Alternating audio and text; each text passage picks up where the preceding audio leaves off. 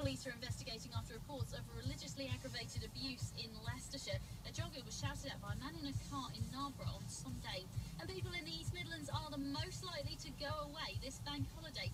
The most popular destination is the coast. Gavin Hill-Smith from the AA and told Capital it means some busy motorways for us. What we found was that uh, people in the East Midlands are actually